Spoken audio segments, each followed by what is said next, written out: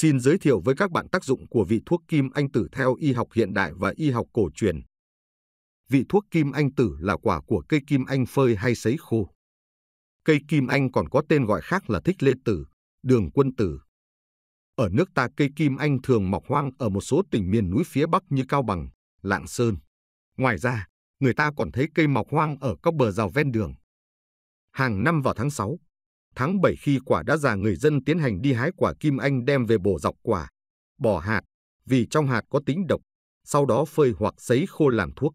Quả kim anh chính là cuống đế của bông kim anh sau khi dụng hết cánh hoa.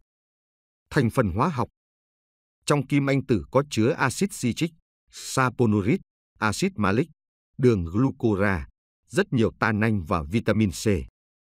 Công dụng của kim anh tử theo y học cổ truyền Theo y học cổ truyền, kim anh tử là vị thuốc có vị chua, chát, hơi ngọt, tính bình, quy kinh tỳ, phế, thận.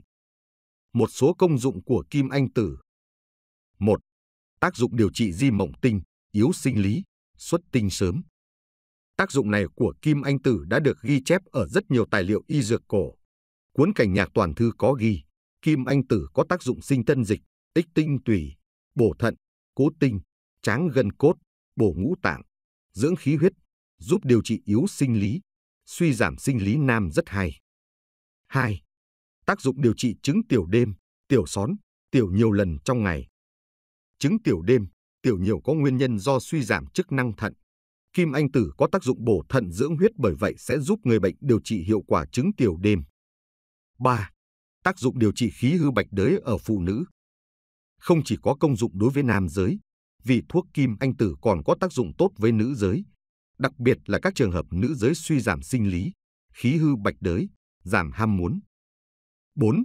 Điều trị sa tử cung, sa trực tràng. Theo Trung Hoa y dược, kim anh tử khi kết hợp với ngũ vị tử sắc uống có công hiệu điều trị sa trực tràng rất hay. 5. Điều trị chứng tỳ hư hay đi cầu phân lỏng. Kim anh tử có công dụng kiện tỳ, cải thiện chức năng hệ tiêu hóa. Dân gian thường dùng kim anh tử để điều trị các chứng bệnh suy giảm chức năng của hệ tiêu hóa, suy nhược cơ thể do ảnh hưởng chức năng thận bị suy giảm. Lưu ý khi sử dụng. Người táo bón, nóng trong người không nên dùng. Trên đây tôi đã giới thiệu tới các bạn vị thuốc kim anh tử. Cảm ơn các bạn đã quan tâm và theo dõi video.